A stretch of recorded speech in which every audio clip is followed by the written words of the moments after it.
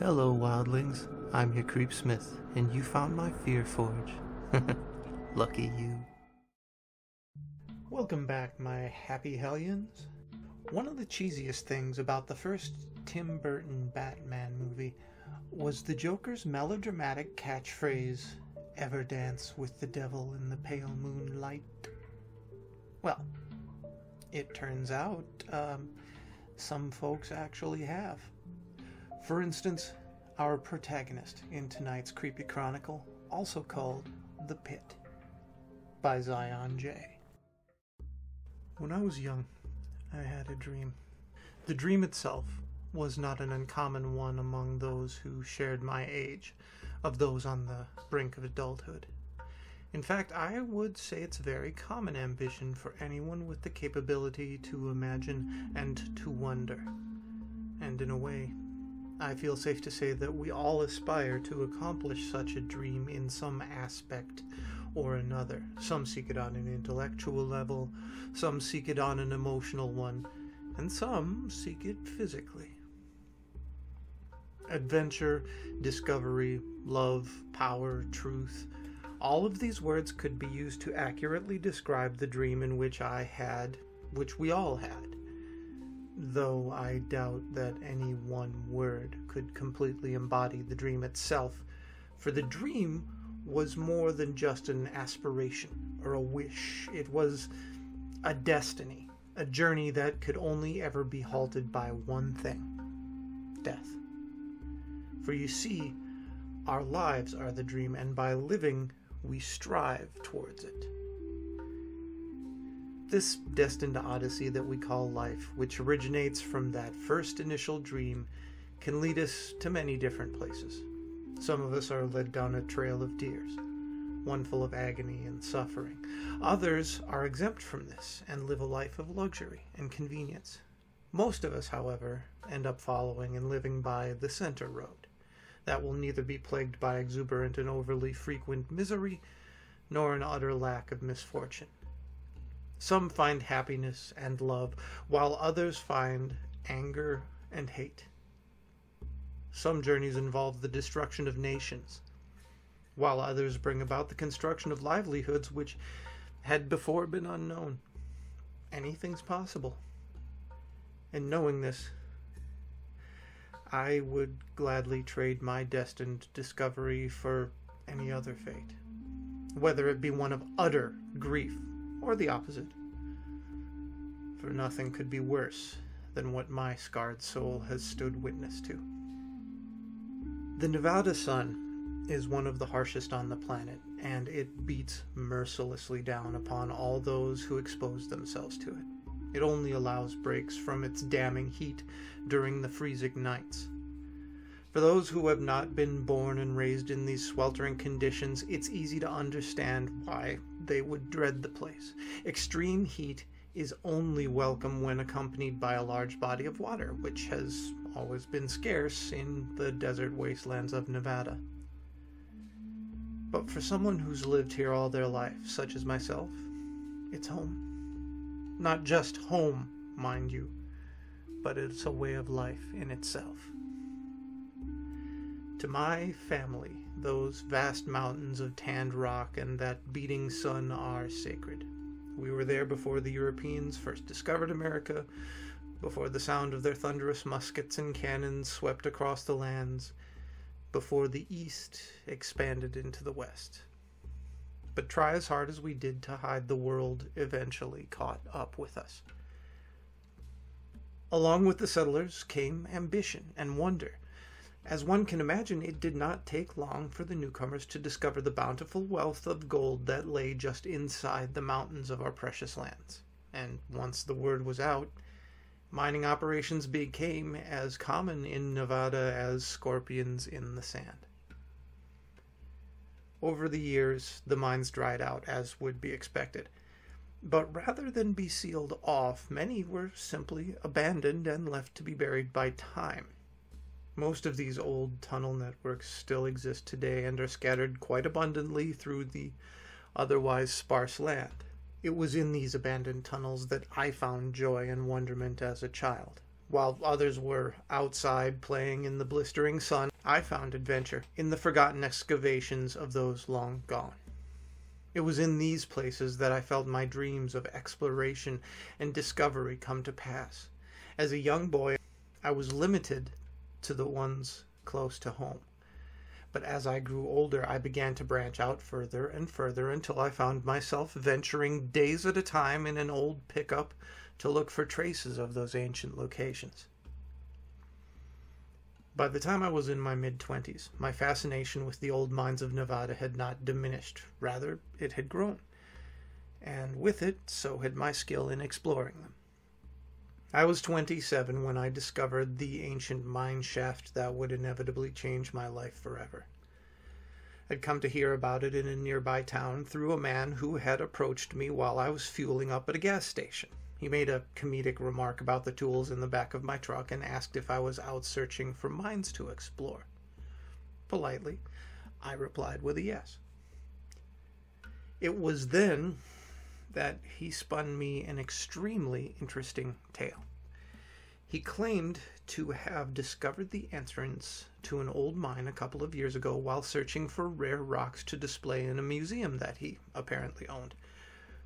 According to him, it was buried under a considerable amount of brush and foliage in a canyon down the road from the gas station. What really intrigued me, however, was his suggestion that the mine had never been explored or set foot in since the old gold rush days. Naturally, I was hesitant to believe him due to how unlikely it was that such a place would go undiscovered for so long. Every mine that I'd ever set foot in had been picked clean by those looking for priceless relics to sell for exuberant amounts of money. That never bothered me. The allure of ancient gold had no effect on me. However, the thought of exploring a mine that had been completely untouched by anyone besides its original miners did seem quite appealing to me. I thanked the man and accepted his offer to reveal the location to me, which he did quite eagerly. In my logical mind, I figured I might as well try to find it since it was along the route which I was already intent on traveling. It hardly took any time to get there, and although it was a difficult and time consuming task, I did eventually find the entrance concealed beneath a considerable amount of brush and foliage, just as the man had said it would be by that time in my life, I could have been considered a professional, judged solely by the equipment that I brought along. Within the large backpack that I carried on my back, one could find a couple of packs of glow sticks, a flashlight, provisions, water, a knife, and other miscellaneous objects useful for the exploration of such places. Some might say that this was too much, but the old tunnels had a tendency to be dangerous and entirely devoid of light, making it only careful to bring such an array of things. As I stood before the entrance of the mine, which had undoubtedly been full of money hungry miners and prospectors long ago, I found myself feeling strange about the place. It was a feeling of which I can in no way describe fully. Uh, I can only say that it was neither positive nor negative, but rather a kind of anxiety, an understanding that this place would be different. Looking back, I think that deep down, I had known my fate would change that day, that my entire life would become altered by that loathsome expedition into the deep unknown but rather than take this as a sign to turn away, my excitement twisted it so that I would only expect something marvelous. In my mind, greatness awaited me in that cursed tunnel, and so I turned on my flashlight and began my journey into the core of terror itself.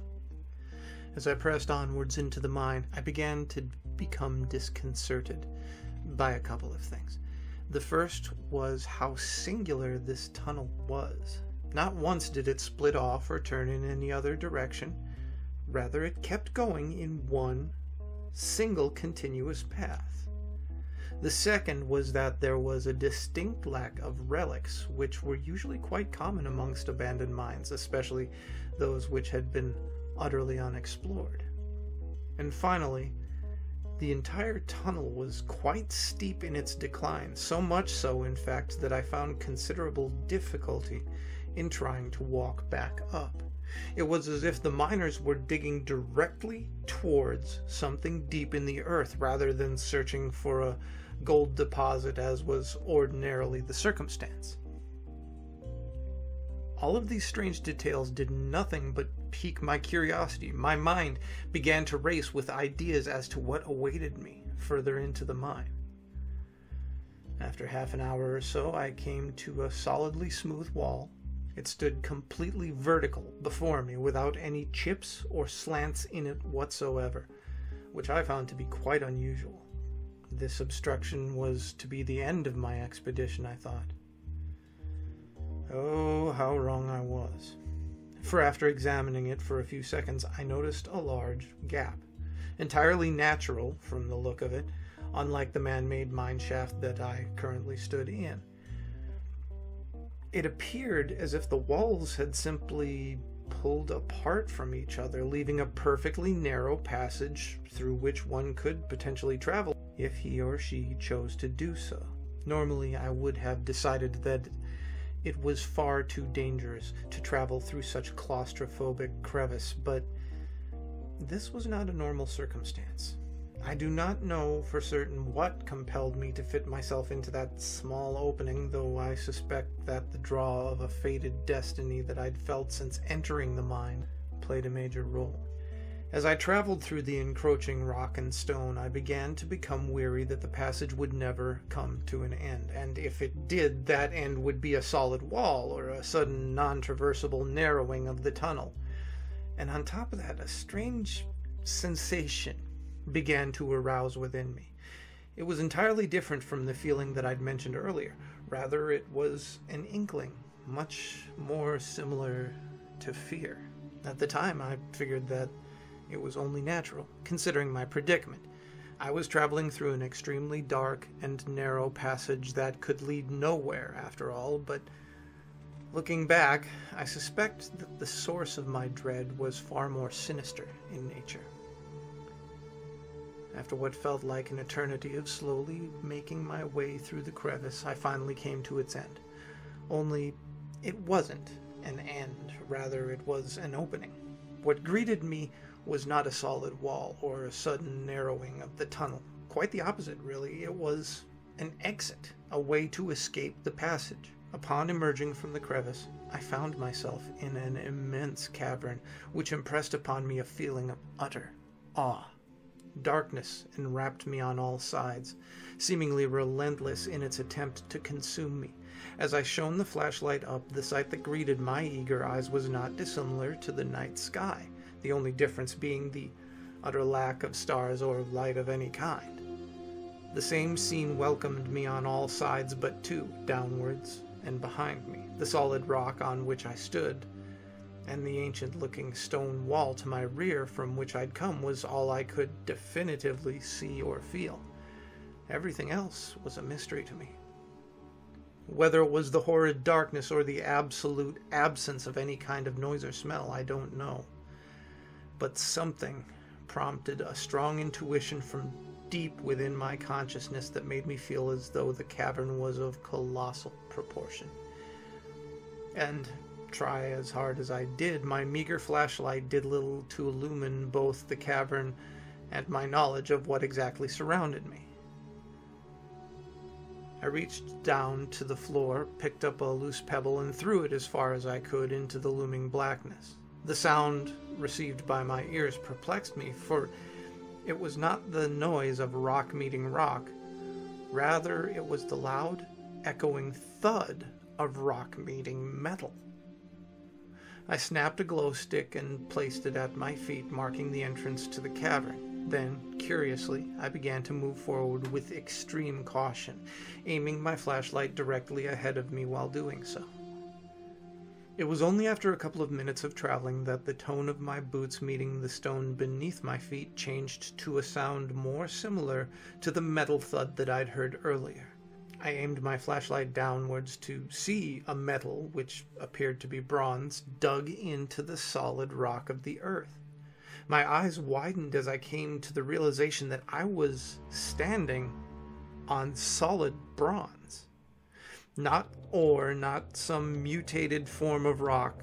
No, solid bronze metal. Bronze that had been smelted down and shaped this way. I took to a crouching position and gave the metal a soft knock with my knuckles, which emitted a loud echo through the cavern. Based on the tone of the knock, I could immediately discern that the bronze was not hollow and that it was indeed a thick layer of melted alloy. Curiosity overwhelmed me. I snapped another glow stick and placed it at my feet, marking the rim of the metal. I began to walk along the threshold in which the bronze and the stone collided, but never mixed. And as I did so, I did not encounter a single corner, only a monotonous curve, which, after a long while, led me back to the glow stick that I'd placed earlier. It was then that I understood the outlining shape of the alloy. It was perfectly circular. And not only that, but in my measuring, I came to have a rough understanding of how truly enormous both the cavern and the plate of metal must be. Anyone who knows anything about nature knows that perfect circles are not overly abundant in our natural world, especially when in the form of a solid bronze like metal as deep underground as this. Needless to say, I was breathless. Now that I had traced the shape of the metal, I desired to explore the center of the circle. Yet, despite my spilling curiosity, I was still cautious, and so my steps toward the core were slow and hesitant. As I moved forward, I shone my flashlight all around the surface on which I stood, and as I did so, I began to notice something unusual. There were lumps protruding from the metal, finely chiseled and erected by something other than nature. It was only upon closer inspection that I discovered that they weren't really lumps. Rather, they were symbols and glyphs in relief. And their positions were not random either. They were arranged like lines of writing, one after the other, in a circular fashion, following the disc like outline of the metal. They appeared to be hieroglyphs or some form of ancient script. Growing up, the exploration of old mine shafts was not my only interest. I also had an extreme fascination with lost cultures from long ago the Maya, the Inca, even my own Native American ancestral roots. I had studied many of the ancient dialects of lost civilizations from all over the world, but none of them were anything like the archaic chirography that lay around my feet. In fact, dialects that I'd studied seemed to be derived from the writing before me, for many of their combined letters and alphabets seemed uncannily similar to these glyphs I was looking at. Lost in wonderment at the marvel upon which I stood, I began to understand the impact that this archaic alloy could have on the world. My mind raced with possibilities as to its origin, yet couldn't settle on any one conclusion. The only thing that I felt certain of in that eerily large cavern was that the circular plate of metal predated any known civilization. Feeling more confident in my safety, I pushed onwards toward the center, more determined than ever to see what awaited me. Eventually, I found myself standing before a circular pedestal made of the same bronze like metal as the disc like plate on which I stood. Its height reached up to my abdomen. I was roughly 5'9 at the time. And within the basin like top was a sphere, which appeared to be made of the same alloy as the pedestal. There was more strange writing on the sphere, and even though the hieroglyphs were entirely foreign to me, I was somehow able to read them. Karnat the Tormentor devourer of worlds, father of all misery. Upon seeing and understanding them, I became disgruntled and and unsettled, even more so than I had been previously. There was a certain allure to those words. I felt the desire to grab the object and pull it from the pedestal, but I refused to give in and quickly turned my attention downwards to the flat face of the otherwise circular pedestal in an attempt to escape the sphere's power over me. I shone my light upon the surface of the odd column of strange alloy, immediately noticing the odd carvings that had been etched into it as I did so. What was depicted on that abominable pedestal I shall never forget. Just like the symbols on the sphere, they will forever be etched into my memory. Never before had I seen something so intricate in nature, yet despite its beauty, there was a terror to it. Many of the figures and shapes were too bizarre for me to understand, but I'll do my best to correlate their appearance to you. At the base was a row of consistent zigzags, which I perceived to be some sort of fire Erect from the flames were what appeared to be two rectangular pillars that were covered in the same hieroglyphics as those inscribed into the bronze floor. There were many other shapes and lines scattered about the mesh of images, none of which I can describe or identify in any way, all save one, which appeared to be the centerpiece of the network of images. Although I found it quite baffling to stare at, I could vaguely discern what it was, or what it was depicting, at least. It was a humanoid shape, topped with an odd head, a head that appeared vastly different than that of a human's. Its shape was similar to a dog's skull, yet from both sides of its head protruded goat like horns that curled continuously. Even if it was merely an image, it still felt as if all the evil in the world had come together and spawned the horrible thing which sat engraved into that pedestal before me. It inspired nothing but unmistakable fear within me, fear so primal and basic that it felt more like a memory than an emotion, as if distress at the sight of this beast had been hardwired into the basic programming of my psyche. And as I continued to stare at it, couldn't help but think back to the strange phrase which had been written into the sphere of the basin Karnit, the tormentor, devourer of worlds, and father of all misery.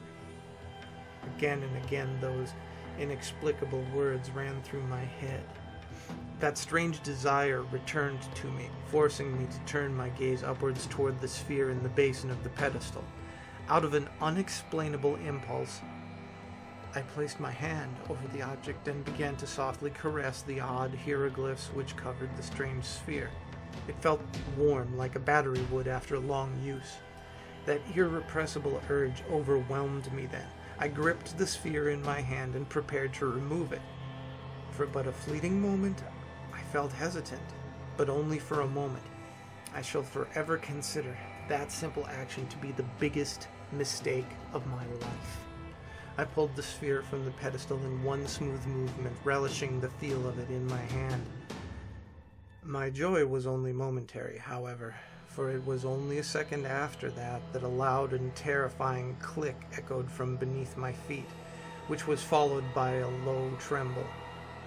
Frightened by the sudden noise and slight shaking of the earth, I began to run towards the crevice through which I'd arrived, so that I could escape. It was only after stepping off the metal and onto the solid rock that I heard another noise behind me, a, a noise I can't identify, for it was in no way similar to anything that I'd heard before until that moment. The noise was so curious, in fact, that I felt compelled to stop and turn around. And as I did so, I was greeted by a radiant light unlike any other. It was golden in color, yet sinister in its nature, for as it washed over me and the cavern, I could feel nothing in it besides fear, and stranger still, it seemed to be originating from the odd hieroglyphs which had been so carefully inscribed upon the bronze like metal floor.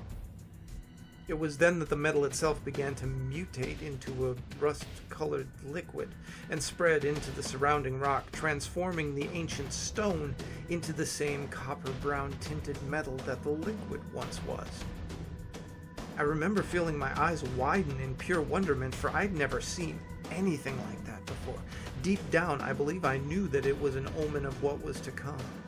I believe I had some suspicion, trying to convince me that such a beautifully odd sight could only herald something so primordial and awful that I would never be able to erase it from my memory. Yet I continued to stare with awe entirely present in my expression as the brownish metal spread through the rock and the stone that made the floors and walls of that dreadful cavern. And as I did so, I could see the familiar engravings forming within the freshly created alloy just as they had appeared when I had first laid eyes upon them. A loud boom drew my attention from the cavern walls toward the origin of the metal, the space in which the strange alloy had once so quietly resided. Only now there was no metal, only a perfectly circular hole in the earth, a pit from which only an indescribably putrid smell emitted. My wonderment faded, and fear once again became the most prominent emotion within me. It compelled me to move towards the exit, which had, for a reason still unknown to me, not been covered by the bronze like metal. Yet, despite the desire to run away, my feet remained planted and as immovable as stone, for although the fear compelled me to flee, some dwindling fascination with the pit forced me to stay.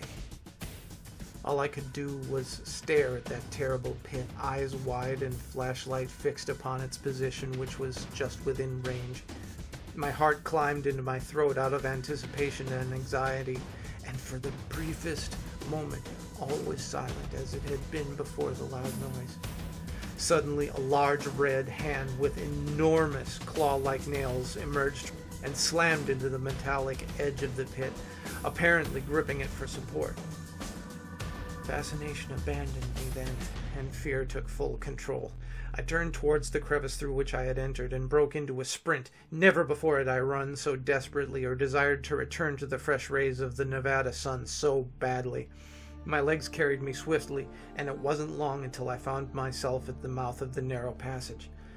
Feeling assured of my escape, I turned for what could only have been a few seconds to see what had inflicted so much terror upon me. Concerning what my eyes met in that horrific moment, I will say little, for I do not wish to dwell on the memory for too long, lest my torments grow further. What greeted me was unfathomably horrific in every aspect imaginable. It seemed to be the upper half of an incredibly massive, red skinned humanoid looming out of the pit its entire body appeared to be coated with some sort of burgundy tinted slime, which dripped in massive globules from its body. And beneath its skin, I could see writhing shapes and figures. Upon seeing them, I could just feel that they were alive within the beast and that they were all gripped by a pain far more severe than anything any man, alive or dead, has ever experienced and connected to the torso was that familiarly hideous, dog like head which had been engraved on the pedestal, only now I could see it clearly and without confusion. Its spiraling horns were tremendous and seemed to seep with nothing but agony, and its eyes, its eyes were indescribable. They were a color that I'd never viewed before and never wished to view again. By merely looking at them, I could feel pain course through my body, pain unlike anything that I would have been able to imagine before. Its head was, as the pedestal had foretold, incredibly canine in nature, only there was no fur or hair of any kind, only blood covered skin crawling with tormented shapes and burgundy slime dripping from its impossibly large teeth. That brief eternity of staring at one another ended, however, when the creature opened its large lipless jaws to let out a roar so intense in volume that it knocked me and my flashlight backwards into the passage through which I'd come.